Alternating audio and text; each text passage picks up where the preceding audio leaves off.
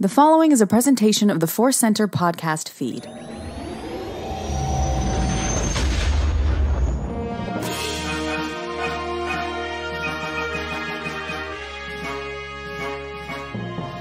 From the center of the galaxy, this is the Force Center podcast feed, and this particular episode is Cues of the Force, quotidian of the Force. No, it's questions of the Force. We've got questions and we've got some answers, but we have even more A's as well. I'm Joseph Scrimshaw.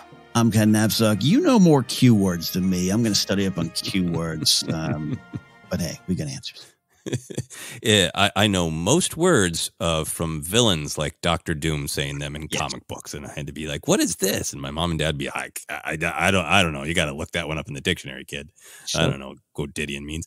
Uh, anyway, uh, happy memories of of a youth full of Doctor Doom dictionary. Anyway, uh, one of the A's that we want to share is Audible. Today's podcast is brought to you by Audible. Get a free audiobook download and a 30-day free trial at audibletrial.com slash center. Over 180,000 titles to choose from for your iPhone, Android, Kindle, or MP3 player. We are continuing to recommend Battle Scars by Sam Maggs, a book that is continuing the adventures of Cal Kestis, Merrin, and friends. Uh, I assume we haven't read it yet, but we're looking forward to it. And if you want to give it a listen and help us out, you can download a free audiobook today by going to audibletrial.com slash center. One more time, that's audibletrial.com slash center for a free audiobook. Our third A, no, hey, I lost track of my A's. Our second A, the third A is answers. Our second A, Ken, is Mhm. asks. You want to take this one?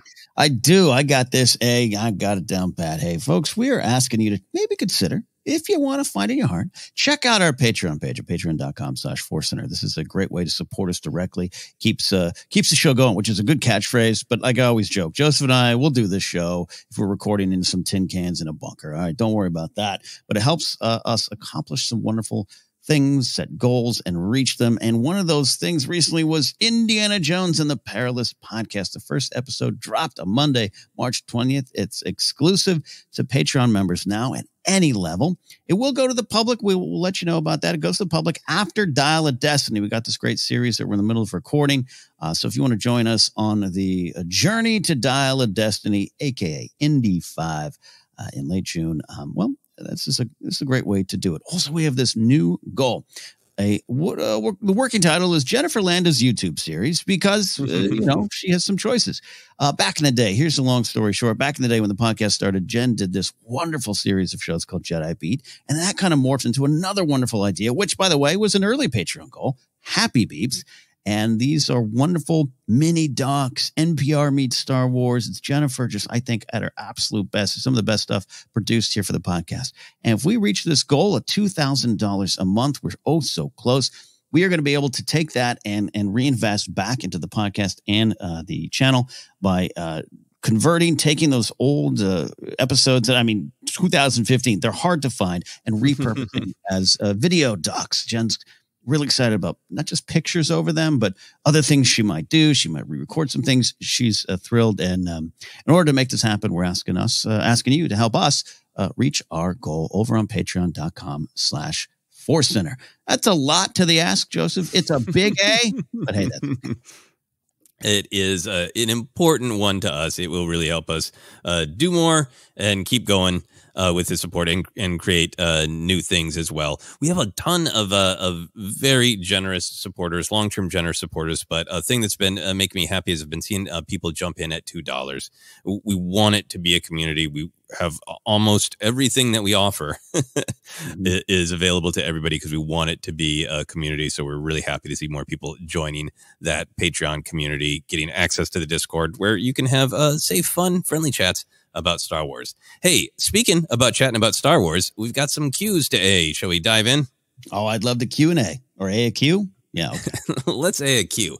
Uh, we have two questions from Twitter and two from Hey, our patrons on Patreon. As always, we're going to go first to Twitter. This comes to us from Victor. Uh, Victor says, When I read the Alphabet Squadron trilogy, I struggled with Mon Mothma's dismantling the rebellion fleet so the New Republic would not have its own fleet. In Mando's last episode, we have the confirmation. What are your thoughts on her ultra pacifism in this convulsed period? Uh, that's the question. I should add some context that we have a couple of questions that are along these lines. A lot of really great questions being raised by that most recent episode of The Mandalorian with the the push into telling the story of the era, the story of the New Republic, where they might have gone uh, right, where they might have gone wrong. And uh, I'm happy to dive into it. It's also kind of fascinating territory, Ken. And I want to start here Mm. I think that um, a lot of the decisions that the New Republic made. We have a question later about sort of the uh, the history of people on Coruscant's alignment with different mm. organizations. Uh, this stuff is fascinating to talk about because it really is Star Wars, but mm. it is also the heart of what Lucas started Star Wars as: is mm-hmm. fun, mythic, tapping into all sorts of tales, but also young, fiery, political George Lucas's opinions about how government should and should not work. So, mm-hmm. uh, I, I, just want to be aware of like uh, some of the stuff we're talking about is definitely analyzing Star Wars, but it's hard also to not talk about without starting to tip into what mm-hmm. do we think a government should do. Mm-hmm. How do you mm-hmm. feel about that balance as we're getting into that that this great nuanced storytelling of the New Republic and the choices and how much of it feels to you like Star Wars and how much of it starts to feel to you like um, reflecting personal philosophy of militarization and things like that. This one specifically is a wonderful challenge to me where I, I look at it from both ways. And I have since the Aftermath novels, where a lot of this stuff was kind of first introduced, the Bloodline novel as well. I think more specifically because because Leia and Mothma's relationship was explored there, Alphabet Squadron as well. So it's been around for a while. And and you know, I agree with you. It, it it's gonna bleed over. Uh, I think George wanted it to bleed bleed over, even not in specific ways. He didn't need you to, you know, spit the name Nixon out of your mouth in '77, but he wanted you to think stuff about the real world that you learned from Star Wars. This definitely was there. So it always comes up. Uh, we do like to preface it a little. Of course, we also should say, you know, this episode coming out after the next episode of Mando. So maybe Mon Mothma stands up. Maybe we get Genevieve O'Reilly and Mando chapter four, she goes, "Let's go to war," and everything's uh, tossed aside there. But uh, yeah, no, um, I'm ready to dive in uh, to the complicated uh, waters. Yeah, let's dive into the complicated waters and uh, acknowledge that they're complicated, but still have some fun splashing mm-hmm. around. Um, one thing that I wanted to, to look up uh, is uh, my own understanding of the New Republic's fleet, uh, mm-hmm. and this was a great uh, clarifying content on uh, on Wikipedia, uh, which reaffirms some stuff that that we've read in books, but it's it's been a while, mm-hmm. and is in the Force Awakens. Here's what they say about the New Republic Defense Fleet. 30 years after the Battle of Endor, it was still the largest military force in the galaxy, but mm. nevertheless was a fraction of the size of the Republic Navy during the Clone Wars. A substantial portion of the Starfleet was stationed in the Hosnian system when the system was targeted and destroyed by the First Order's Starkiller base super weapon. Hundreds of cruisers and frigates were destroyed during the attack, crippling the New Republic defense forces. Uh, Wikipedia also discusses how, like, yeah, there are absolutely, you know, fighter pilots like uh, the great Joss C. Striker, mm-hmm, um, mm-hmm. you know, and hey, that's Poe's whole story. He gets trained by Wedge in the New Republic, you know, defense fleet. Um, that the fighter pilots defense fleet exists. So the question in the New Republic era is the scale of it and the way it's being deployed. And, and I think that's also the story that that Leia is saying, "Hey, there's this rising threat, and we are not set up to respond to it correctly." Uh, so I wanted to give that information to kind of frame our conversation. Now let's finally get to some A's. I want to hear your thoughts. First of all, that's some great info because if you just pass through this conversation, it is kind of like, well, why did Mothma completely gut the military? That's not the case. You just said it. There's a fact. It's still the largest out and about. It's just a fraction of what it was. So I'll start here. Uh, I'll dump, uh, dump, dump, dump it all on the table like puzzle pieces we're going to put together. Philosophically, I have always agreed with it once it was introduced. I really get what Star Wars. It's it's quite a statement from Star Wars. This thing, this tension you always talk about, uh, Star Wars, and and and it's cool. It's pew pew pew, but it might be, you know, warning against it at times or analyzing why why we got those wars, and that's fair. Uh, so for me, it it it makes sense when I pull back and separate a little bit from my own realities because my gut reaction obviously some of my background or job or even points of view from days gone by, I I, I didn't necessarily agree with it. Uh, It's kind of this. Well, but who else is out there? Uh, why would you do that? Uh, you just went through all this stuff, and then I think if I separate that and pull back and put myself in Mon Mothma's shoes as best I can, um, I don't, I couldn't feel them. She's she's way better than me, but uh, you know, looking at it from perspective, they they they form. Remember, even just the clones. The clones are a military creation act, right? It's, it's a Mhm. byproduct of that. Uh, forget the Sifo-Dyas of it all and the Palpatine of it all. Just that that's what the vote was. So it, to me, this grand army didn't necessarily exist until then in different forms. We got systems with their own, uh, maybe forces, all that. And so the purpose of that, once the Civil War uh, happens, is is to overthrow Palpatine. They do so. Mission accomplished in a way. Let's pull back. It is a a to me a message of hope that I can get behind. Um, maybe you can look at it from uh, all right we don't need this grand army as much as we did in, in the past uh, i know that's the grand Ar- army of the republic but um, you know so there's more power and responsibility to the indi- individual systems uh, and maybe that's part of the statement the galaxy needed like hey we all came together for this. We want to uh, and i know now, now it sounds like we're getting into states rights and federal rights. Real, real world's blending pretty too fast. Um, but this idea of we're not going to war. Stand down a bit. Uh, raise a fist, get a fist, all those type of type of philosophies. I think when I when I just pull back from my own fear, which is the key word, right? If I'm in the galaxy mm-hmm. and we just went through this, and I go, oh, uh, da, da, da, da, no, we need it. We need a new Republic Navy. Uh, who knows what else is out there? Uh, uh, once I release myself from that, I can get behind what Mothma's saying and what Mothma Baby did at this point in the Star Wars story.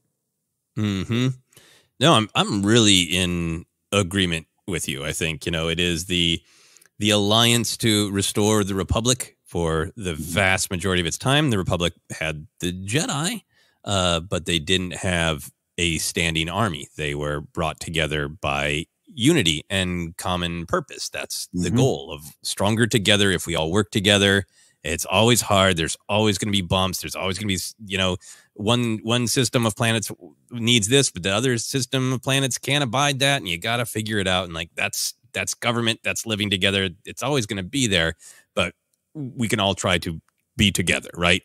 Mhm. um, versus this uh, what the empire did of uh, the government isn't the citizens uh, the Yeah. government is palpatine and he will end you if Mhm. you Mhm. uh, if you defy his government and that's what that fleet was right Mhm. um, it was there to take what palpatine wanted it wasn't there to actually defend anyone Mhm. um, and I think so. So I think Mothma's perspective of we do not need to retain this level of militarization Mhm. is the general.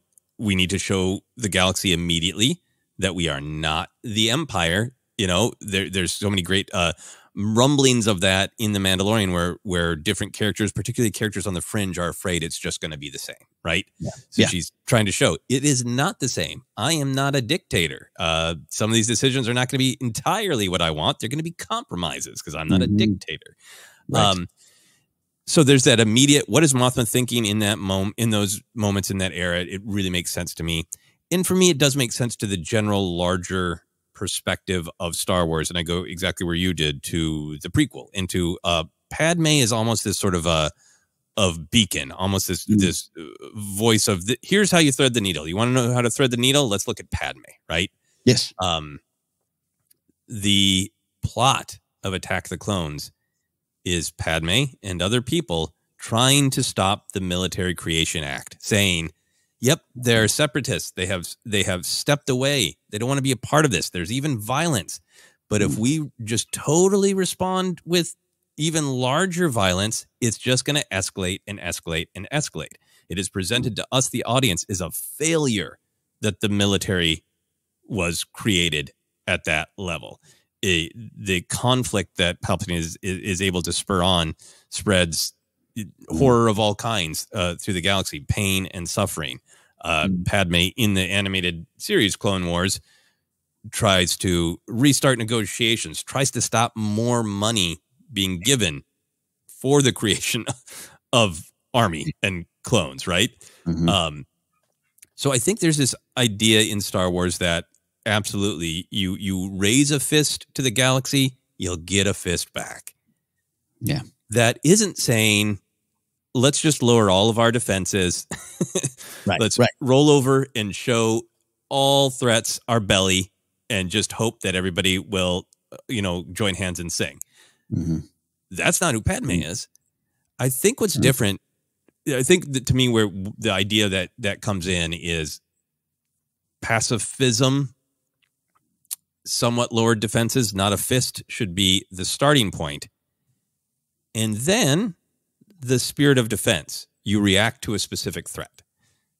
Padme's going around the galaxy, you know, trying to have negotiations, trying to talk peace. The Phantom Menace is her going to the Senate and saying, Can we please find a way to resolve this? Hmm. Okay, then I'll go get my blaster because I'm responding to this specific threat that is real. It is not paranoia, it's not a manipulation. The Trade Federation is enslaving and torturing my people. I will respond to this specific threat. You know, Hmm. Mothma, Leia, the galaxy raised the rebellion in response to the specific threat of the Empire. And so, to me, the way I'm in taking the New Republic era storytelling as it comes is Mothma's big decision, in my opinion, is the correct one de escalate, try to work together. Yeah. The question is when specific threats did emerge, hmm w- were those threats not responded to well by the New Republic? And that I think is the story of Leia and the story of the sequel trilogy era of like Leia's all, all, about yeah let's let, let's de-escalate right hmm Uh, you know I Mhm. know that in the book she she wrestles with it and all that but then there's still that real practical like de-escalation is the goal working together is the goal but if there's a specific proven threat we need to be ready to, to respond to it, I, I know i'm going on a little bit but I Mhm. think it's it's a delicate thing and, and that's the thing for me is like i i i think that we should try to work together we should not fall into being manipulated by the fear of an alleged ta- attack that we don't know is coming that we don't know is real because it's such an easy way for leaders to manipulate people of like get your Yeah. guns out because something's coming for you it's so easy to manipulate people's fear that way i've fallen victim to that uh, i- i- at times in my life so I, I think you should be responsive and willing to you know defend when the need for defense is clear and real It, it, it- look, look at Satine, right? Even even Kenobi's got some questions of, uh, you know, it, it- it's banter more than anything. But I thought you were a pacifist. Yeah, well, no, yes, yes, but we're currently being shot at. I have to deal with. I have to deal with that. Uh, and that's and it's and this is so e- easily manipulated. And, and Victor's got this great question about it. Victor, you just opened up Mhm. a wonderful conversation, but like you could easily point at a Padme, Mon Mothma, uh, Satine, any of those kind of characters. Because look what they did on Mandalore. Of of oh, you're you you you trying to take away who we are, uh, our culture, our weapons, our religion, all those things that we we celebrated in, in terms of uh, Mando and great quotes and stuff like that.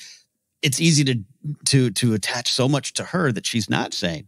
Talking about Satine, um, about changing our outlook, changing our perspective. It is about change, and and and, there's that that again. Even I have it. Uh, the position of fear. Again, I was in public safety. And you go uh, every time you step out of your office, you are looking for a threat and there's some realities to that. There's Mhm. there, there are crimes real, threats are real. Uh, the realities of war, realities of, of of dictators in the world, or people who want to abuse. That's all real. But I think it's so easy to say, I can only do that, or I can sit back and and and, and wait. Right? It- it- it's so easy to just to be binary with it. Uh, where I think Mothma is is, hey, we we realized our goal, we we won. Um, let's not go forward with this and, and create this, uh, you know, Star Wars military industrial complex that just grows and grows and grows to, to secure people pow- people's power.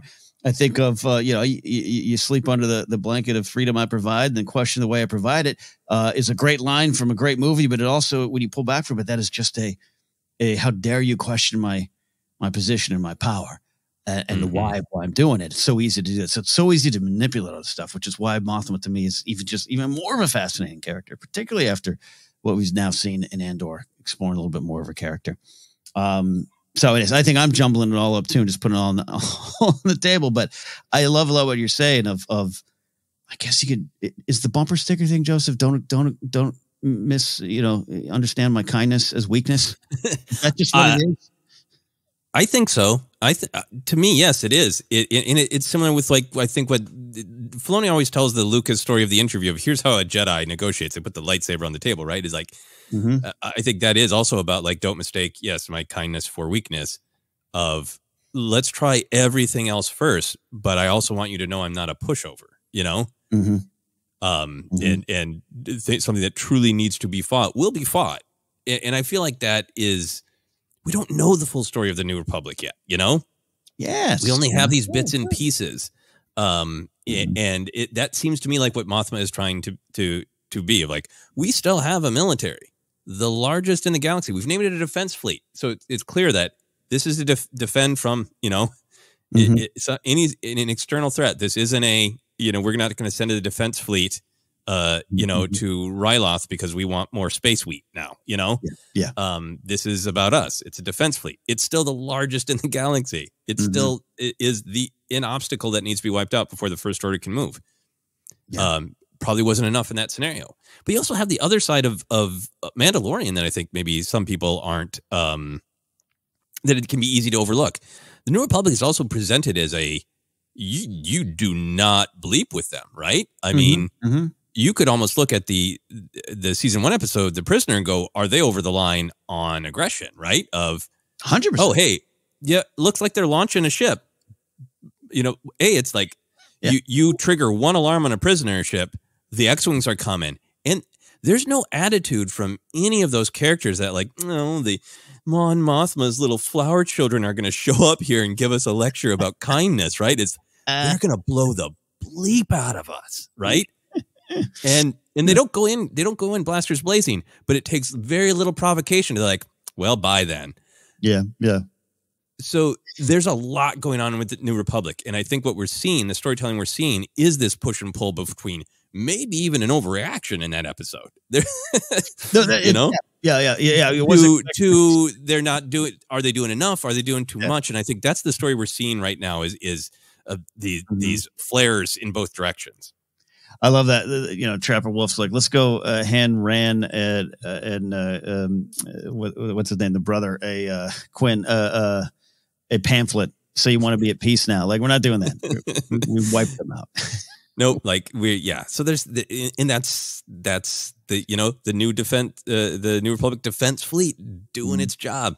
You know. Yeah, no. One one of my favorite things uh, about this conversation you've said so far is, is is the Padme of it all. As, as we should all we should all turn to Padme, one of the key characters in Star Wars. We really do believe that around these parts, and exactly what you're saying. It, it it's it's it, it's when the threat arises, we deal with that threat, and that's the end goal here. And and then you pull back from that, right? And and you Mhm. find ways to deal with it. There, you find ways to keep people safe. And then I think that Mothma clearly influenced by Padme um, whether it's um, directly expressed in, in, in content or not. She she clearly has been, and so I think that's where this this has started. We we we we did what we set out to do. We can't, uh, you know, we have to look at it different. We have to change um, the culture. Otherwise, you do have what you have in Mandalore. You do have Death Watch. You do have people who identify um, with symbols of power and violence as a form of power. And if you don't separate yourself from that, you don't work to separate from yourself. That that could be the dis- destructive, uh, you know, poison that seeps in. And I think that's all all tied back to some of that Padme and Satine stuff. Yeah, no, a- absolutely, and I, and I think it's really fascinating, and you know, I- this, this will probably uh, continue to come up. But I think we're we're also just getting a, a- big story of a big era from a different perspective. It's a different kind of storytelling. We we're being given breadcrumbs at the beginning and at the end, and there's so much Mhm. that we still don't know. Um, whereas, like say the the prequel trilogy, um, what happened? It's in the prologue of the novelization of Star Wars, you know? Right. Um, and then we see the prequel trilogy, and there is complexity to it and there is nuance to it. But at the end of the day, Palpatine manipulated the galaxy.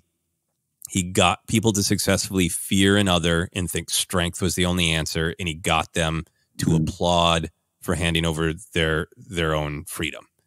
So we can look at that story and go, we know what happened, we know the players, we know who to blame, you know Palpatine. We know we know Padme and Bail are the heroes, and they're looking around at all those other senators and said, "He did it. He suckered you. He got you to do believe in something, support something that isn't good for you in the long run." Yeah. We don't have that clarity with the New Republic story. Like we've got guesses. You know, people Mhm. have had some great responses to us on uh, Twitter and on on YouTube, really connecting the dots to the the centrists and the populists uh, in the New Republic. I'm having a lot of fun imagining like that the amnesty program is a compromise. That Mhm, mhm. there there Oh, are people who are saying like we gotta and, and you know there's stuff in this in the books that alex on star wars explained has a great video on the amnesty program but you know if you imagine it is um okay well some people in the government are really advocating for we need to give people in the empire a, a chance to come back to it and then other people are hardliners and go yeah but they're criminals so they can uh not fine fine fine you you can do your touchy feely let's all heal bs but Yeah. we're going to do it with numbers and we're going to do it with keeping them in a box on Coruscant.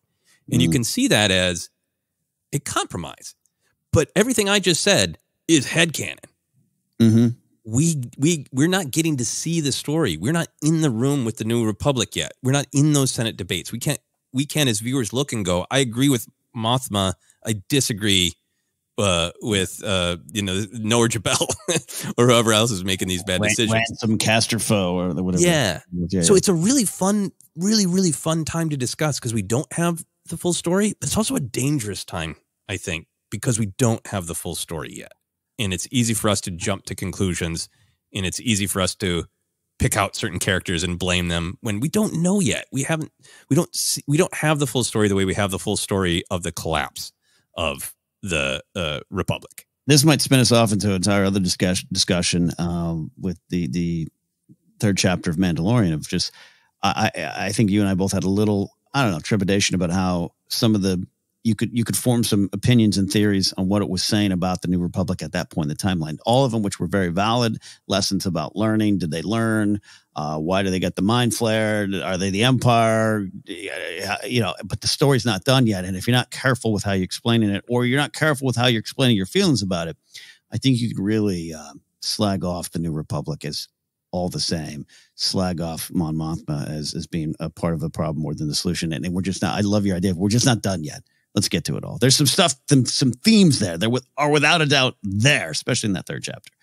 Mhm. I've just seen a lot of discussion around that too. But oh, the dumb New Republic. Like, dee, dee, dee, dee, time out, time out. yeah, and, and maybe it is a failure, but we we haven't been given the evidence yet of who is making the choices. Who do we agree with, and who do we disagree with? And Yeah, yeah. and I think it's common right? Because I think there's so much going on, even with that more recent quote with Filoni. We're recording this before Mm-hmm. we saw the most recent episode of Mandalorian, so who knows? Um, maybe that'll just be an, an hour of Grogu eating soup, uh, learning to enjoy different Mandalorian soups. We don't know, but I'm excited to talk about it. We got more of this coming up. We'll have more of this coming up, but I also want to talk about it carefully because we don't know the full story yet. Love that. All right. Uh, that's just our first question. We'll knock out these other ones real quick. Uh, I'm joking. Mhm. Uh, our next question comes to us from Twitter as well, Darth Pundit, which That's is a great name. That's great. Uh, Darth's question is uh, sort of thematically connected. He says, Shields. I'm a sucker for energy shields in Star Wars, from the squad shields in Battlefront 2 to the henchman shield wall in Book of Boba Fett to the Mandalorian gauntlet shields in Clone Wars, and recently, the Mandalorian Season 3 Bo Katan's shield lightsaber combo was amazing. Here's the question Would it be weird for a Jedi to use a shield along with a lightsaber? Makes sense conceptually, always for defense, but more of a European knight than samurai aesthetic, and for some reason it feels a little off. What's more important, function or vibes? uh, I love this question. Ken, where do you go with function or vibes and, like and shields for the Jedi? feel like we're shopping for a new car. Do you want something functional or just want a vibe, man? This is a great question. Ah, man, I love the Force Center listeners, our Force Center friends. They just go to such wonderful places. My my initial reaction is, yeah, God, it would be off. I've never really thought about that, but that Mhm. That bleep ain't right. Like that wouldn't look right because I love I love the you know Bo-Katan's had that stuff in animation in live action. It looks so good, and that it just works for the Mando vibe and the function. Right, the Mandalorians uh, are are high tech, even though we've learned there's a lot of spirituality and, and culture, uh, the armor of it all uh, to that weaponry. Um, I it just it just fits. And on the other side, you got the Jedi. It, it just it, it, it thematically, you're absolutely right, Darth Pundit. It totally works. It just it it wouldn't work for me just straight away. I think you'd have to find ways to do it, but we can get into that in a second. I propose group shields for Jedi, where maybe it's just a shield bubble for all, not just for me. I'm sharing the shields. no, I like that. I like that a lot. Um, I, I, think for me to just directly answer Darth Pundit's uh, question about function or vibes, for me at the end of the day in Star Wars, it's vibes. Mm-hmm. uh, it's vibes and meaning, right? This is one of those questions where, like, if you really look at it and be like, okay, well, if it's it, like Darth Pundit's saying, it's like if it's defense, like, yeah, you got your your lightsaber, mm-hmm. but yeah, get a shield too. mm-hmm. uh, this is one of those TIE fighters make noise in space. That's where I start. Like right, in right, the cold right. vacuum of space, they wouldn't scream. But you know what? It's vibes. It's cool that they scream. It is meaningful that it, it is the hell scream of a mm. predator coming for you. Um, yeah. it, and I think with the sort of the logic of the Jedi just having lightsabers, it's about vibes and meaning. You know, mm. I think um, I, I have been uh, coveting a uh, McQuarrie Stormtrooper concept action figure. Uh, I looked at one, and now eBay is sending me these seven tempting emails a day, going, "Are you sure you don't want this?" Um, the great McQuarrie concept stormtroopers with the with the shield and the lightsabers, and you know, clearly there was a there was a design moment where Star Star Wars was at least uh, possibly let's treat this more like European knights. Mm-hmm, uh, mm-hmm and I'm sure knights from other uh, places as well. They're, they're, all everybody's got a sword and a shield. It's just these are yeah. These are laser swords. And then at some point it shifts to like, no, the lightsaber is more special than that. Mm-hmm. It's more meaningful, and I think it, it's vibes and its meaning. And and Darth Pundit is, I think, acknowledging this in, in the question really well. Mm-hmm. mm-hmm. That the shield would diminish the lightsaber. Uh, th- for the Jedi, it is the one weapon, often the one single possession of the Jedi. It's hmm. not just a weapon, it's a symbol. It's a symbol of hope, but also for the Jedi, I think it's a, a, a symbol of commitment in skill. If you're yeah. gonna pick, anybody could pick. Han picked it up and and uh, and, and that's right, and made a made a fun bed for Luke real quick. Yeah. Uh, yeah. Some some kids get race car beds. Luke gets a tauntaun bed, right? Lots of people, maybe not the mm-hmm. dark saber, mm, but maybe other sabers. People can pick up and slack and hash, right, or other way around, hack and slash. Hack and slash. Um, but for a Jedi, it's with skill, commitment, training, this weapon is a shield. It's mm-hmm. every bit as good as yeah. a, a, shield. A, a, shield is a shortcut to what pouring our devotion into this blade can and should be. And to me, that's it's vibes and meaning.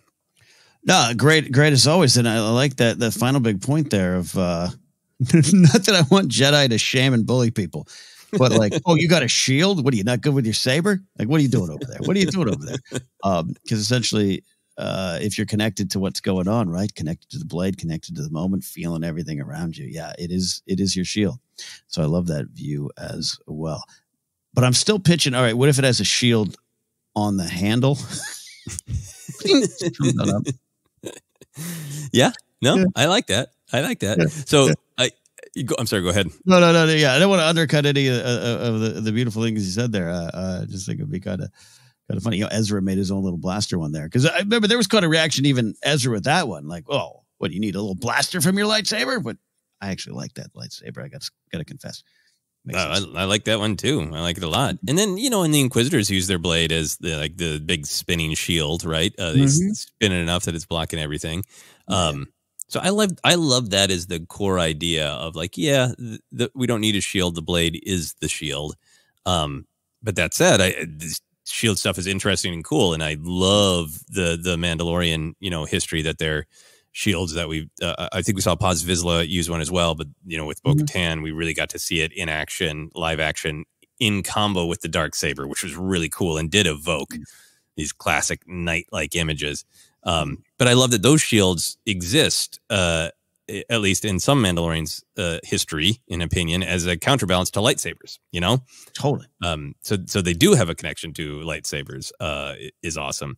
And even with everything I've said with the Jedi, I'd be fascinated to see eras of Jedi or specific Jedi who buck the system and is like, hey, take me on with the lightsaber. I'm the, I'm the I'm the best you're gonna find. I still find a shield handy. I'm not gonna yeah. stand on ceremony here. You know. I, I, I think our minds went to similar spots. I, I would like to see a time period. Uh, you know, High Republic's this kind of big general term right now, but I think maybe even before that, where uh, you know, maybe the lightsabers aren't as developed yet, right? Maybe the, the Kyber's there, but maybe the tech is a little different. Those power packs we've seen in the, the Legend stuff, right? Uh, which was like me to, running a VCR in my video production class in high school. I had a camera and a VCR literally hanging on my uh, back there. Uh, but maybe a time where these, uh, you know, looking at the the classic, uh, you know, I know it's you know, European knight, and, and, you're right. There's there's knights of all kinds everywhere. But what Darth Pundit's kind of invoking here, that image of uh, I love, I love of Jedi as like hedge knights roaming the land, looking for a place to put their heads, a, a, tree to sleep under, but also helping those in need in these little villages, these planets, these systems. And maybe it would just fit the aesthetic more then. I, I could get behind that. Maybe they even have a little armor for their heads, you know, so, some some shields, uh, a cape, mm-hmm. definitely a glorious cape. Ride a space horse. Maybe I do just want medieval Star Wars.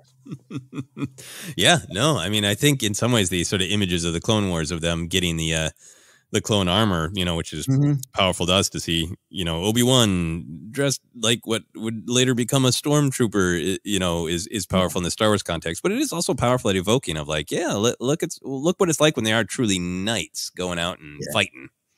Yeah, yeah, that's cool. And maybe during the Clone Wars, you know, if they're going to have the armor, maybe hey, pick pick up a shield and protect your clones. Uh, any other thoughts on this one before we take a break? Nah, I loved it. Great stuff, Darth Fun. And at the end, of the, I got the the the live action version of Bo-Katan's Shields was one of my favorite little details of that third chapter. Yeah, and, and speaking of hacking and slashing, mm-hmm. to prove that I can say it correctly, I love everything they've been doing with uh with Din, like that absolute butchery in the butcher shop in Book of Boba Fett, and then getting to see Bo Katan wield it so uh, much more uh, fluidly was awesome. Indeed, indeed. And looking forward to more. Maybe we've already seen more by now, but uh, we are going to take a quick break and we will be back with our questions from our patrons on Patreon back in a moment.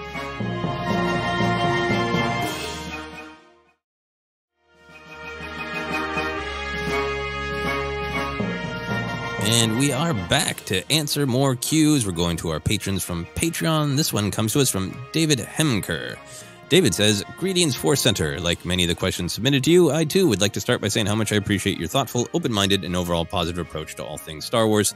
The podcast has been a regular on my daily commute for the past couple years, and I have you and the Force to thank for my decrease in road rage incidents. Uh, pause there for a moment to say thank you very much uh, for the compliment. Uh, appreciate it. Uh, they're not necessary for questions, um, but thank you for the kind words, and thank you for uh, uh, David for sharing how and when you listen, that it's a commute and that it uh, helps with road rage because that does relate to the rest of David's questions. Uh, any thoughts on that before I read the rest of David's questions? I, I think I need to listen to Force Center while I'm driving to avoid the road rage I sometimes have in LA. My road rage is, is in check. It's when it explodes, it explodes, and that's what I get. So I need to just put on some data bank dive when that happens. No, I, I, I understand. We'll share some some road rage uh, thoughts here in a moment. Mm-hmm. Here's the rest of uh, David's question. David says, "My question is a bit of my own head canon, but I was curious about your thoughts in A New Hope when Vader strikes down Obi Wan on the Death Star. Luke screams no before firing at the stormtroopers across the hangar. His shots here appear to be way more accurate than just before. Here he hits mm. three troopers within seconds versus two total en route to Falcon to the Falcon with Leia. Uh, he also hits the door controls on his first attempt when Han shouts, "Blast the door, kid." Do you think that Luke was unknowingly tapping into the dark side of the Force in that moment, and maybe that helped with his aim? If so, and if Obi Wan's voice telling him to run hadn't snapped him out of it, what do you think the result could have been? Thanks, and may the force be with you. May the force be with you, David, on the road and at all times. Uh, yeah, so let's let's get into this. Um, yeah, the hmm. uh, just I think this relates to the dark side. yep, yep, okay. Uh, the I did relate to the road rage thing because because I have gotten you know mm-hmm. angry on the road and, and at times when I can be calm and just let other people go in front and all that stuff. It's so great. Mm-hmm. I picked my wife up uh, at uh, LAX last night, and I was uh, feeling in a calm, peaceful mood. Had a nice drive. Uh, and listening to uh, to K Jazz Yeah. radio station, and it's just funny to see the amount of um, totally, uh, frankly, pointless road rage in LAX. like, Mhm. you- if you get angry, all you're going to do is bend your own fender. Yeah. This is frustrating for all of us, and there's nothing that any of us can do about it. So Yeah. let's just all take our take our time. Um, yeah. Um, and I've had times that I've been mad in the car, and I've thought about Force Center and been like, I should I should listen to what we talk about and take a deep breath. So Mhm. very relatable, David. How Mhm. do you feel, Ken, about uh, this idea that Luke is possibly tapping into the dark side? I really like it. I have a I have a sort of a counter pitch to it I'll go into, but I actually really like it. And in terms of the direct question of, you know, if he hadn't run, Obi Wan doesn't snap him out of it. What do you think? What do you think the result? I, I quite frankly could have been dead, but I think more than anything captured, right? And, and that's Mhm. probably what Vader would have wanted. And we got a whole new different set of circumstances. And now Leia needs to hopefully go back and rescue him. Maybe that that would that would have been Empire Strikes Back. No, um, so but I like the dark side thing. Um, there's a lot of set all those kind of dark side things, right? Pop up. You got a lot of fear, doubt, anger, confusion, rage, all of it. Uh, and that, as Yoda always preaches, is is maybe the quicker path, a little more seductive. And look at that, you're hitting you're hitting targets from miles away now. Don't you want to keep that going? I can get behind that vibe, and I, and I think uh, I'm thankful, regardless of where we land on uh, the themes and everything behind it. I'm glad Obi Wan was there to snap him out of it. No, I agree. I think I think it's it's vital that Luke leaves. Uh, you know, hey, to get the plans to the Mhm. rebellion. But yeah, I think he's he's captured. He's killed. Uh, Vader, you know, uh, maybe make some connection to who he is. Uh, it's extremely important that Luke goes at that moment. You know. Yeah. Um, so I think uh, the result could have been bad for absolutely everybody if uh, Luke didn't turn. I think it's part of Obi Wan's sacrifices. Vader is distracted by w- what is happening, what is going on. I, I Mhm. have to have have have this victory I've always wanted in him. Uh, also, how did he even in death mystify me again? Right. Um, Mm. but I really agree with what you're talking about with um, with kind of the the idea of what the the analogy of anger in the dark side is in in Star Wars. Um, Mhm. I really like this headcanon that he's tapping into the force and maybe a little bit uh, of the dark side. Um, I guess you could make the argument that for the most part, the other stormtroopers are shooting at him and he's just opening up on some stormtroopers who are hanging out watching a cool fight. yeah, yeah. Hey, hey, hey, what's going on? The wizards. but he, the wizards are fighting. The wizards are fighting. Uh, yeah. Mhm. Um, but I, I, think there's an utter precision. Hamill certainly plays it with anger, right, and Mhm. pain. yeah. Um, and this all tracks to me with with uh, the analogy of Star Wars, uh, Yoda's lessons that you're talking about of quicker, easier, more seductive, Mhm. and what I've experienced in my own life. I think that you know, Palpatine says uh, anger gives you focus. Mhm. And I think he's right. And that's, I think, where the illusion of power comes from, right? Yeah.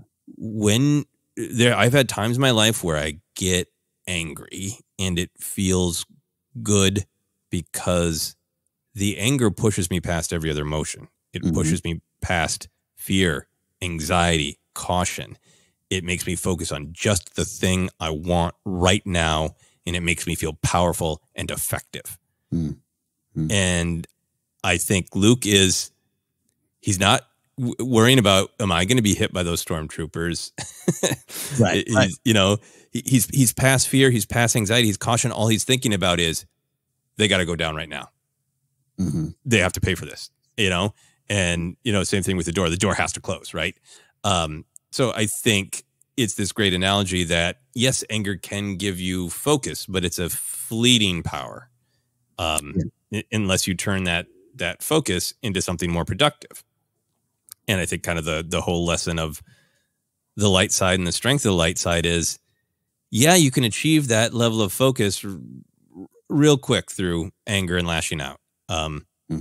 But if you master your fear and your anxiety and, and maybe being overcautious, by looking at them fully, acknowledging them, and trying to find a way past them, you can get to that same level of focus uh, instead of just burying them with your anger and, Mhm. and acting on that. And all those ideas that are in Star Wars, uh, I've never really put them to this scene, but I think they're really there. You know, it, it's, it's Mhm. kind of a, a fun lore question of did he tap into the Force? Did he tap into the dark side? But even even if he didn't, the sort of moral lesson of what's what's happening there is really interesting to think about. Yeah, and even uh, we've talked about it here too. Of like, it's so easy to, you know, ta- like you said, tap into the, the the dark side or tap into the force. Even Bo Katan with Grogu, like you're good at force. Like she has that like kind of quote. you, you you good at forcing. Um, it is it, but but the force is really uh, it, it's about the day to day choices of those day to day moments and the light and dark and dark, exi- dark existing everywhere, um, whether you're a space wizard or not. So I think I can go with you on that. The big powerful thing, and, and it's a beautiful, wonderful, wonderful breakdown on what actually is there, what actually is happening. I, like I said, I have a counter when we're ready for it, but it's in the same ballpark. It's just a different point of view. I want to hear the counter. Okay, here's my counter. Oh, I'm so excited. Uh, again, I also want to submit. I, I think a lot of what we talked so far, so far, I think is this isn't about a right or wrong answer, but I, I just think that it just works for Star Wars in so many ways. But but the, there's a lot of things that's very similar. It's just a twitch on it there. If in that moment, in that moment, Ben's died. Um, what if all those things around him that we'd seen prior to this on the Death Star are removed? Fear, doubt, anger, all the stuff that uh, he's running around. He's, he's out of his element. He's he's doing some great things. He's rescuing a princess, getting trapped in a trash compactor. He doesn't quite know, and he has that doubt. You just go through that life every day. You get on a stage, right? Uh, do I uh, are my jokes written? Do I know my what am I doing? Is the crowd gonna like me? What am I doing? And you can make some mistakes. And so what? It just in that moment, he instincts um, take over. It's Hmm. all clear. He's focused because of what he's just seen happen there, and he wasn't blocked in that moment. He wasn't in his head. You almost say he's in his zone sports wise, and and, and uh, all that was removed. All those things that trip us up, all those things that might lead to anger and doubt and just uh, some sort of uh, failure in terms of uh, the mission's not a success. All those kind of things that you're running around the Death Star going, uh, uh, uh, in that moment, you're like, oh, this is what it's all about, and and that's why I can suddenly suddenly hit things from from a mile away or whatever the distance was. But still, it all leads into Obi Wan's voice for me. Um, it is a snapping out of it moment, but it's definitely a I'm gone. You've got to go. You've got to let go. Mhm. you- You're still on the dark side. All that stuff, all that sport zone thing you're experiencing, and you're killing stormtroopers and you're shutting doors down, and great, you blocked Vader. But if if you don't let go of me, all this is is for naught. And, and Mm. in your life, your journey forward. And so it's still kind of the same spot. I still think it's dark side stuff uh, in terms of the lessons, uh, you know. But sometimes I experience that where if you just have too much, too much time to think about it, or too much, uh, not over preparation is not a bad thing, but just for me, I, I, I, I need to sometimes just f- feel the flow, go with my instincts, and all those silly little things in my brain, um, which are of the dark side. I can't do this. I don't belong here. Oh, this isn't good. Oh, I'm so mad. All those things can sometimes fade away when I am uh, jolted out of it. And um, but all all for naught if you don't move forward, change, and grow, and, and let go. Yeah, no, I I, I really love uh, what you're saying, and I, I think it is meaningful to what you're saying, and and to the question that this sequence ends with uh, Luke being convinced to let it go, being convinced to redirect uh, Mhm. this energy from shooting those stormtroopers isn't going to bring Obi Wan back, and it isn't going to help them particularly escape. Yeah. and he is let go of of that anger, that focus, and redirected towards actually doing something productive, which Yeah. is shooting shooting the door. Yeah, and I I really agree with you. I think we're saying uh, similar things of Mm-hmm, mm-hmm. getting getting caught up in in all of those things that that hold you back. I also just uh, I, I'm taking with this because I think there's just such a difference in uh Mark Hamill's performance of Yeah, yeah, yeah. He's making these great shots on the stormtroopers and it's anger you know it's it's you you took something from me uh and then he's convinced to let go let go of all those anxieties but then you compare that to taking out the death star right like Mm-hmm. that the look on his face is concentration precision it's not this is for Biggs a-holes you know um maybe one percent, maybe one percent. Yeah, yeah, yeah. maybe one percent, Yeah. right? Yeah. But it, it is, you know, it it is more purely about getting past all of the things that hold you back, right? Get get past the idea that you're a farm boy who can't do this, and everybody tells you that the targeting computer is the way to do it, and if you try to do it without a targeting computer, you'll fail. Put all that away. Listen to your gut. Trust yourself. Um, is is the lesson. Yeah, all that kind of found uh, there in that moment. Love it, love it. Yeah. Great stuff. Very fun discussion. Uh, I can't wait to rewatch that scene and give it even more thought. We're going to move on to our final question from James Pasqualucci. Uh, James says, Hello there, Force Center. Before I ask my question, I wanted to again give my uh, deepest gratitude for welcoming me and everyone in this community to your wonderful show, for your wonderful answers and your thought provoking insight that continues to inspire me.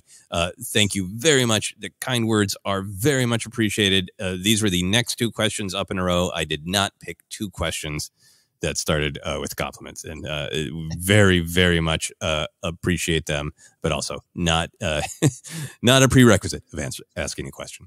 Uh, here is James' question. Uh, my question for today is about Coruscant in the evolution of its loyalty to the rights of the galaxy. We know that Coruscant has always been a planet of privilege, being the heart of the Republic for years. And for years after the Empire was established, the residents were largely happy to continue under this new regime. By the time of Return of the Jedi, we see them in open celebration of the Empire's fall, complete with crashing statues of old Sheev, tossed stormtroopers, and fireworks. Around the time of the book Bloodline, I believe Coruscant supported a more centralized government with the centrists, and that there may have been First Order sympathizers there too. But after the Battle of Exegol, thanks to the junior novelization of Rise of Skywalker, we know that they were in open revolt against the First Order. All this is to ask what made the residents of Coruscant realize the evil of the Empire First Order and take a stand? What made them listen to Mon Mothma's words and realize the error of their definition of wrong? Thanks again for all you do, and may the force be with you. May the force be with you, James. That is a fascinating question. Uh, I want to throw in a little bit uh, of context from Wikipedia on this one as well. Mm. Um, so during the New Republic era, uh, Coruscant was not the capital. Uh, that, that gets you know moved around uh, to Chandrila, to Hosnian Prime, um, and we don't have a ton of storytelling about that. Uh, but according to uh, Wikipedia and the character Hondo, here's what's going on in Coruscant during the New Republic. So you can decide how much you want to trust Wikipedia and Hondo, listeners. Uh, but here is the paragraph. Despite being a part of the New Republic, the planet actually fell under the control of criminal syndicates after the Empire's fall. By the time following the Battle of Crait in 34 ABY, even the respectable areas of Coruscant were roamed by gangs. Gangs fought a bloody conflict for control of the glittering world's districts. Districts. Hmm. Tourism to the once galactic capital all but vanished, and for an individual to be safe, they needed to afford protection like droids and armed guards. Accordingly, the city world was not a symbol of galactic possibilities. Instead, it represented the disturbing realities of the galactic's current time period. The hmm. pirate Hondo Ohnaka, who was saddened by Coruscant's current state, included the planet in his book titled Galactic Explorer's Guide. Within hmm. the book, RA7 protocol droid DKRA 43 described Coruscant's fall from grace into lawlessness as one of the greatest tragedies of their current era. In 35 ABY, Corus- Coruscant was in an open rebellion against the First Order. So, uh, hmm. I think hmm. all of that is from this one book, Galactic Explorer's Guide. So, as always, you know, Wikipedia does a great job of, of capturing everything. This is storytelling that's in place from this one book. Maybe it'll get shifted, but for now, that's a little bit of the picture of what happens to Coruscant after the Empire and into the New Republic. It is not the center of things anymore, and it falls into uh, some control of uh, of disreputable people. Uh, did you ha- have you read the Galactic Explorer's Guide? Is this news to you? Do you Uh, trust Hondo? I trust Hondo, Uncle Hondo. I trust him. Uh, that is for the most part news to me. Like, yeah, I think almost 99% news to me. May have heard some scraps somewhere, but um, yeah, that makes me even think different about maybe my answer. So I like that. That's great context. Oh, awesome. Yeah. So, I mean, it, it is definitely, you know, uh, some more rich storytelling. And we've been getting a lot of Coruscant with Andor and with Mandalorian. So, Mhm. hoping for more. Mhm. Um, so, where do you start with this, Ken? I, I in the overall vibe up top here with, with James uh, talking about uh, you know, just it is it is a planet of, of privilege, and, and and there's nothing you can do about that other than choose to look beyond that, right? We've talked a, a lot about that of of um, you know, Empire, New Republic. They're all I can't keep track. They're all the same. Some of the quotes we've heard in various ways in Andor and and now Mandalorian. Um, you have to choose to push past that. You have to choose to connect. You have to choose to see who might be affected by change in regimes or change in policies or just policies in general. I think that's a big lesson that it's at, at the at the core of this. Uh, complacency will set in. I think um, I think it had set in. Not just this Hondo information uh, aside. Um, I, and I look going to the end of this year of, of why. Um, you could just say, "Well, some heirs of the way." I think the simple simple way is Lando showed up and said, "Hey, be better." Um, I think that, but I think there's it's, it's, especially at the Battle of Exegol time period. There's a lot of maybe the next generation did not want to keep repeating what had happened before, including, hey, this fell into the wrong hands because of reasons X, Y, and Z, and we want to make a difference when we part of this, and now's the time. Uh, so much of the sequel trilogy being uh, how you deal with what's hanging over you and what came before you, and what's your place in that, and what's your place going forward, and and it th- seems like it was kind of a not a good spot. Bum deal, right? Bum deal going on in Coruscant. Um, mm-hmm. Um, and and we are choosing to be part of the solution. Uh, and maybe it just took a couple generations because 30 what we looking at 30 years 30, 30 mm-hmm. 35ish years, years yeah i mean just think of it think of it now that means you got people running for office uh, who probably might not have even been alive when the battle of yavin and endor and all that stuff happened so hey we're, we're going to make a change to be better. And now's the time. We just needed good people to lead us to give us the confidence. Mm, yeah, no, I, I like I, I, like that idea that it, that in the era of Rise of Skywalker, that that mm-hmm. Coruscant might have uh, benefited from some of the inspiration, uh, the uh, the yeah. resistance being the spark that lit the fire, um, that it, it's great to think that some of those acts might might have truly made a difference and, and reached Coruscant and re- reached people on Coruscant, and the idea that you you can make a difference, you you can mm. stand up, you know. Yeah, yeah. Absolutely. The lessons of uh, Luke and Rose and reaching Coruscant is a really beautiful idea. I like that a lot. Mm. Um, I think for me, kind of going going to the the beginning of this timeline of of the what do the people of Coruscant uh, believe in? Are they clear about their beliefs? Are they just responding to what they see? what I start with is just the idea that that Coruscant really does contain multitudes. Um, mm-hmm. Coruscant, you know, in visually at least partially even inspired, you know, by the film films like Metropolis. Uh, but we actually get to see it in action in, in storytelling. Is that there's a rigid class structure, and it's mm-hmm. it's literal, right? There there are the people in the penthouses, the people yeah. in the middle, and the people way down in the lower levels. So yeah. one of the things I start with is, well, every time we see the reactions of the people of Coruscant, either we explicitly know who on Coruscant we're talking about, or sometimes, like in the shots at the end of Return of the Jedi, we don't know. You know, there we don't zoom in mm-hmm. and see that ah, those are aristocrats now willing to ruffle their robes by tossing that stormtrooper about. You know, uh, so sort of uh, uh, this comes partially from storytelling mm-hmm. that you know can point to evidence and partially uh, fully acknowledging head canon. But I think what we we've seen in the story is that during the Empire's reign, uh, the the rich and the powerful on Coruscant, the penthouse people, um, mm-hmm.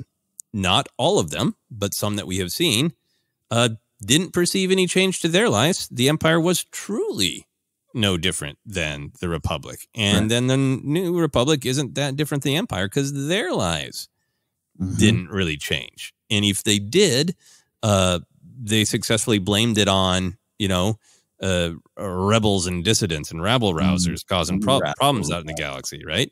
Yeah. Um, this is explicitly going on with Perrin. It's explicitly going on at Mon Mothma's dinner party. We we get mm-hmm. that perspective from the aristocrat talking to Pershing, right? Yeah. So I think for the era of the empire, for the powerful people on Coruscant, is just like, well, business as usual. Usual. What what's the problem? So that leads me to think like that scene in at the end of Return of the Jedi is like, hey, that's not that's not Perrin.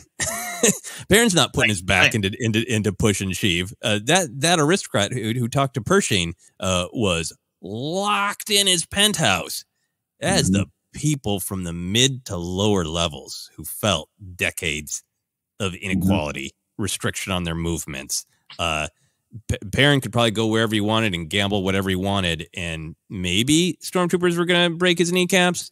Uh, Mhm. But the the people on the lower levels, stormtroopers could come down there and do whatever they wanted, right? Yeah. uh, and there would be no justice. I think it's the people who lived in the middle and the lower levels who are pushing over Sheev and tossing that stormtrooper around at the end of Return of the Jedi. I mean, especially if you you know spend some time hanging out there with Trace and Rafa and that that era, that stuff. I love you know, right? It, it's it's thirteen thirteen coming up to toss over some statues. Yeah, I would love it if you if you could super zero in on the special edition and the people tossing the stormtrooper around are Trace and Rafa. Uh, Yeah. yeah. and I love that. I love that take on it. Yeah, it's a snapshot. It's it's a, it's a small moment in Star Wars history, but we haven't spent a lot of time in the details of it. And people are Maybe- getting really. Go, I'm sorry. Go ahead. Uh, maybe we will in future storytelling. Yeah, no, I I would love if we continue this storytelling to to see a scene of like that the aristocrat, you know, from Mm. uh talking to Pershing, watching in horror from his penthouse as the the people Yes. push that statue and you're like, oh geez.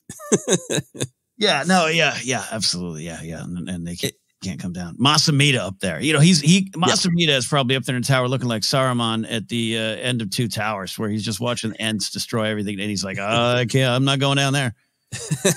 nope. Nope. Nope. Mas Amedda is locking the doors. And, you know, talking about class things in, in big ways, obviously, I, I'm sure that the Empire managed to swindle uh, uh, some people of lower income to to believe that everything was great uh, on Coruscant. And as we see from characters like Mon Mothma and Vel, uh, that people who have a lot of money and power can also resist it. So I'm painting, painting with a broad brush on these fictional characters, but uh that that's the story i'm i'm seeing. Um i think it's really really fascinating then to to look at the difference between the empire and the first order right? Mm.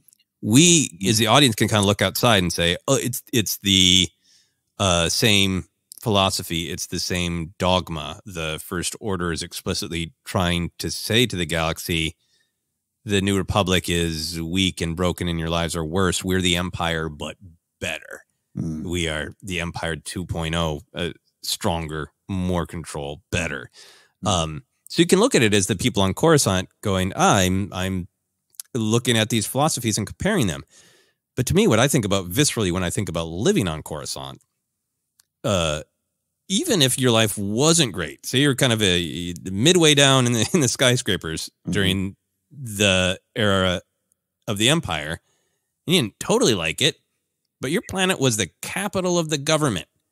Uh, you maybe didn't like the emperor, but he was your emperor, right? Mm. Uh, if the, the the New Republic government has left Coruscant, uh, it's in not great shape. They're they're you know crime lords, all that. Mm. Snoke and Kylo and the whole First Order, they see themselves as a continuation of the Empire. But to that person who lived through the Empire, who's still alive on Coruscant, I think they're invaders, right? I don't Mm. think it's take the pamphlet and go, ah, their dogma's dogma's the same, and I used to kind of support the Empire. I'll support Right, the right. First Order. They're invaders. They're from the unknown regions, and Mm. they're they're wearing the insignias. They're flying ships that look like the old ones, but they're coming from the outside, not to save you from crime lords, but to also put you under their boot. It's just much easier to see the First Order as invaders to be resisted than even if you didn't like the Empire, you were the Empire. Yeah, I, I like that. Oh, I like that idea. Um, they're they're imposters in a way, but dangerous in their own. I mean, Empire, Empire, pretty dangerous, I'll say. Mhm. Uh, but yeah, the First Order has this extra edge to them that they're out for this kind of um, vengeance. They've been personally wronged by you, you. You took our power, you took our emperor, blah blah. It's a different vibe, right? It's uh, the, the policies are far-reaching and destructive on a level uh, not currently offered in this time period by the, the other crime lords. But yeah, I, I I- like what you're saying. That that you, you're sitting up there going, well, no, that's still still not good. Not what I had. yeah, yeah. Mhm. it- it's just easier to separate it from Mhm. yourself, right?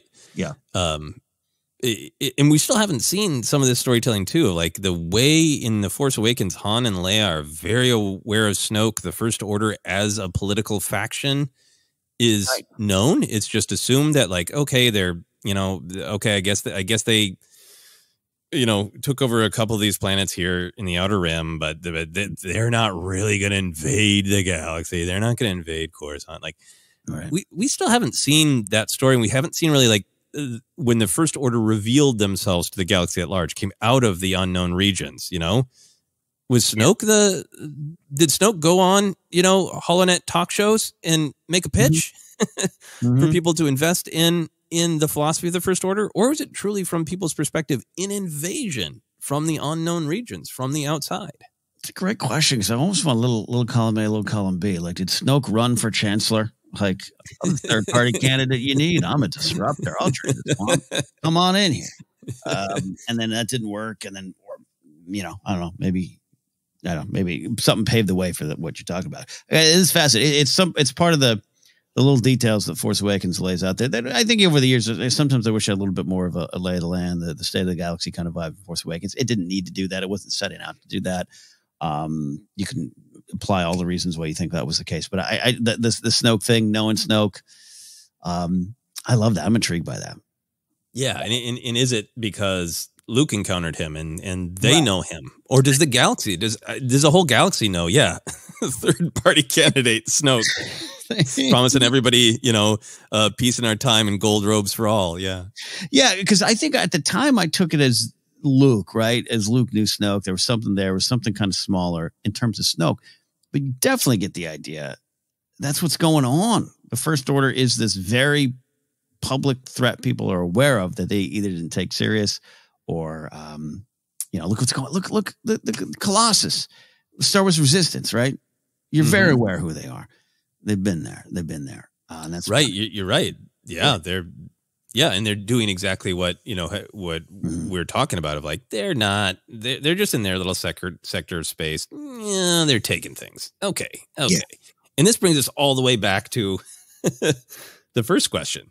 I think the real criticism of the New Republic, you know, maybe you know Mothma could have set it up better, but Mothma's not there anymore. Leia's trying, and that's the failure. As as the First Order is moving in on places like the Colossus, mm-hmm. it, people are not responding to the threat because they don't want to go back to this. Right? They don't want to believe it, and that I'm that I really want Star Wars to dive in because that's such a real world thing. Abrams has talked about it in interviews of that idea of uh in, in okay Yep. In in the past, people who have used the word this the label Nazi have done X. Now these people are calling themselves Nazis, but they're not really Nazis, right? Or they're saying the exact same thing as the Nazis did, but they're not really going to do that, right? And like, yeah, go, even going to historical, you know, you know, uh, actual uh, uh, newspaper mm-hmm. Um, mm-hmm. discussion of Hitler's just really he's just really using the anger you know, he's saying some really shocking things, but he's just using that as a savvy political move. He doesn't actually mean that, you know? Right. And, and I think that's the storytelling area that that the first order is playing around in of, of people not wanting to believe that they really mean they're, they're not just kind of cosplaying the empire they really mean it and they're really going to do it and not taking that seriously soon enough yeah it's not, it's, they're not just a black and white photo from from history's past they're, they're here they're real and um, yeah i think that's uh, love that's that that definitely is part of the first order, particularly Force Awakens. But yeah, yeah, yeah. It, it's it, Star Wars Resistance. It, I think is one of those things that just it's easy to overlook the show. A lot of people maybe did. That's maybe just the harsh reality of that show. But it's a great show. Um, definitely has some vibes. Definitely the things that are that are skewed younger. We've discussed that time and time again. But there's just some valuable storytelling for that time period in the lay of the land. Uh, going You're in very right. I'm really glad you brought that up because it is we see some of the things we're talking about. To see we see the people like, yeah, that's in the past. You know, uh, we get to see older people um, like Yeager and, and Doza who who've been through this and don't want it to be happening again, right? And totally understandably, right? Just don't, they just don't. This it's it's not happening again. It can't be. Yeah, Doza and and and Jarek Yeager are two of my favorite characters in Star Wars when I stop to think about it, right? I think that they don't pop into my head as much as I want them to but mm-hmm. they just they're such a Yeager, just this like yeah, war veteran with scars and losses and and trauma, and it ain't fun. So of course I'm gonna have a, a thought before I step forward into that, and, and yeah. learn from that. And, and there's so much to explore with that. And Doza on the other side, you know, yeah, I was there, part of the Imperial. Just I want to run my little my little platform in peace. And that's the starting point of the character, just not where they ended up, of course. Yeah, no, absolutely not. So it might be time for a Resistance rewatch soon as we're getting Mm-hmm. into more of this, uh, celebrating and discussing this uh, this history of uh, this period of the galaxy, the New Republic, the emergence of the First Order, and uh, all that storytelling that uh, it seems like the Mandoverse is going to explode out into. Great Mhm. question about Coruscant, the people there, their uh, changing loyalties over the years. Uh, I would love also just a history of uh, uh, spend some time with some characters actively resisting the First Order on Coruscant would be awesome. Any uh, any final thoughts? Great thought starter of a question. Love it. Yeah, thank you so much, James. Great question. And we are going to move on to Power of the Light Side. This is a segment uh, where we ask patrons to submit something uh, joyful about Star Wars, something they love, a good experience, uh, how it helped them. Uh, if you are a newer patron, uh, just go to the post section, scroll down, you'll see a picture of uh, of Obi Wan smiling uh, while in lightsaber combat with Darth Vader, uh, and that is where to enter. We have a submission today uh, from Natalie. Here's what Natalie has to say. A love letter to Star Wars 1983 was an important year. Both myself and Return of the Jedi were released to the world. To celebrate the 40th anniversary of my favorite film and my 40th year, I wanted to reflect on some of my early Star Wars memories. I have loved Star Wars as long as I can remember. As a child in the late 80s and early 90s, I used to watch A New Hope, The Empire Strikes Back, and Return of the Jedi over and over again on VHS tapes my parents had recorded from the television. I loved all three films, but Return of the Jedi was always my favorite. It had so many fun and iconic creatures and scenes. There's Jabba the Hutt, Salacious B. Crumb, Max Rebo, the Rancor, and the Sarlacc, and that's just the opening of the film. We mm-hmm. also find out Luke and Leia are twins. The Empire has created a second Death Star. We get an amazing speeder bike chase through the forests of Endor and are introduced to, in my opinion, the best characters in any Star Wars media to date the Ewoks. The most heartbreaking scene in the film being the death of Nanta and the Ewok. as an adult, it still makes me cry. Uh, death of Nanta the Ewok, and as an adult, it still makes me cry. To further fuel my love of Ewoks, my parents rented Caravan of Courage, The Battle of Endor, and the animated Ewok series multiple times from our local video store. Princess Kneesaa from the animated series was a particular favorite of mine. In 1997, something major happened. The special editions of the original trilogy were released at movie theaters. I was so excited. I was going to be able to see Star Wars on the big screen for the first time. My parents took my brothers and I to see all three films at the cinema as they were released. It was an amazing time. It was such a joy to experience the films I loved and had watched so many times at home up on the big screen with surround sound and new effects. I have fond memories of Hoyt's Cinema, Star Wars passports we got stamped as we saw each film and going to McDonald's to get Star Wars toys in our Happy Meals. Even though I can't watch them anymore, having no VHS players, uh, somewhere I still have this special edition VHS box set with the gold box Invader on the cover that I saved up uh, my pocket money to buy. As an adult, Star Wars continues to bring me so much joy. Every new movie, television series, and book adds to my love of that galaxy far, far away. I hope that magic is never lost. This is great. This is really wonderful. This is just exactly uh, what Natalie said. It's a, a love letter to Star Wars, taking us through uh, her journey in beats. And I have to admit, as I read this, I, I, I kept waiting for the time where like uh, something dipped, right? yeah, yeah. I kept waiting for the twist. Where like, and I had some problems with this special edition. Like, no, Natalie has just shared Yeah. the love of Star Wars, the things uh, that brings joy, the happy associations uh, of of times and places and physical objects like that VHS box set. It's absolutely great. Uh, Ken, what are your thoughts? Ah, man, I absolutely love this one here. That final sentence. I hope that magic is never lost. It, it never will be for you, Natalie, because I think um, you're looking at it all in in a very special way. Um, it's easy to get lost along the way. There's so you're so right, Joseph. There's so many times along the timeline here you you could have been uh, lost, right? And I think I suffered from um, feeling I had to sometimes step away from that magic even even when I describe what we do sometimes, uh, ran into some old friends late, lately, right? Hey, what are you up to? How do I explain it? I talk about Star Wars a lot, right? And uh, it, it could be. I think that comes from, uh, and I'm always excited and blessed to do it, but it, in explaining it, it just seems weird. I almost feel guilty. but also I think I, I, I it's like I want to go back and cave into those who who to, oh put your toys on the shelf, stop liking Star. It's just that silly space saga. You still watch that? All that stuff. We're we're told that all the way on this journey, and I think it was nice for me to eventually reconnect with it. Never lost the love of Star Wars, but I just felt I had to put a little little little uh, you know a, a little little cover the flame, so to speak. Uh, and Natalie, mm-hmm. what you're talking about is you, you, never felt you had to cover the flame. Maybe you, you felt you did, and you pushed past that, and you found something along the way. Um, four decades of love in Star Wars. It's a it's a great thing, and uh, you know, for the Joh Yowzas of it all, and uh, little things along the way. Um, it's easy just to to slam your fist on ah, it ain't what it was. but look look for the joy. That's what we do here. So I'll end my my joyful rant there.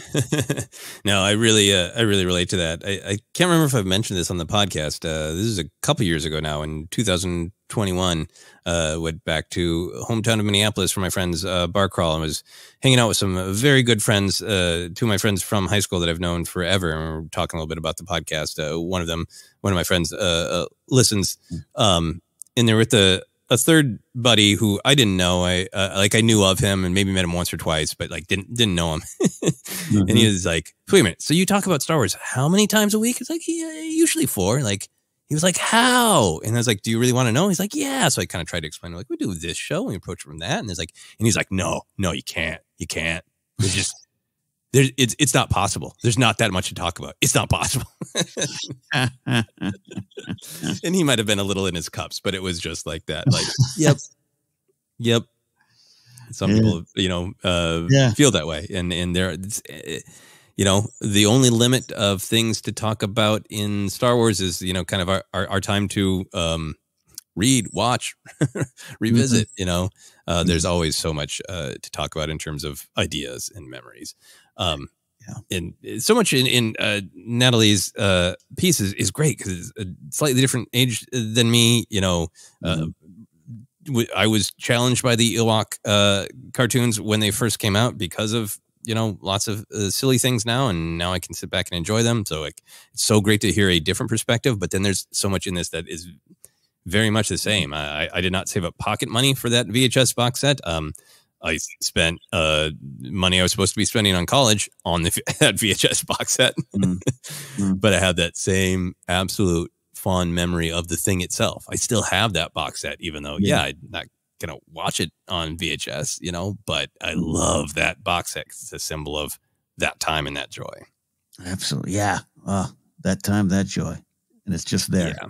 staring at you exactly. So thank you so much, Natalie. Thank you for everyone uh, for the great questions. Keep uh, uh, being excited about all the new avenues of discussion that are being opened up by the continuing saga of Star Wars. Ken, where can people find us? Hey, you can find us on Twitter at Force Center Pod. Our Facebook page is Force Center Podcast. We're on Instagram as well. And don't forget, as we uh, set up top, we are on YouTube. A lot of cool stuff going over over there, and more on the way. So subscribe, hit that notification bell. Podcast is available on Acast, iHeartRadio, Apple Podcast, and more. Just search, you'll find us. Merch available at teepublic.com slash user slash force center and patreon.com slash force center is where you can support us directly, as we said, and you can submit power the light sides like this wonderful one from Natalie today. You can find me at Ken Napzok. Go to my website, kennapzok.com for more, including links to a lot of shows I do, like Cassidy Talk, The Blathering, my YouTube channel, where I now stream games there, shorts, videos, more on the way over there as well. Joseph, where can they find you?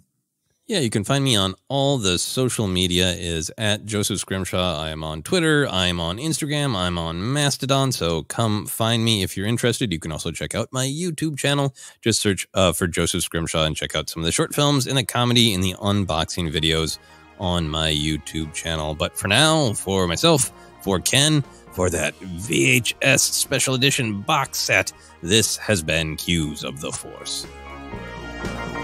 Force.